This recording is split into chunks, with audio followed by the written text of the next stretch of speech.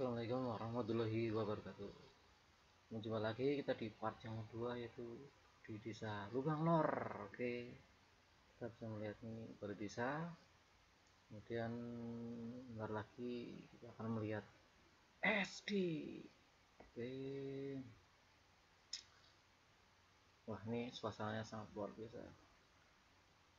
Oke Semoga yang kita sampaikan bermanfaat. Lebih lengkapnya di part yang satu menambah referensi juga. Semoga. Sekian terima kasih. Assalamualaikum warahmatullahi wabarakatuh. Ciao, arrivederci.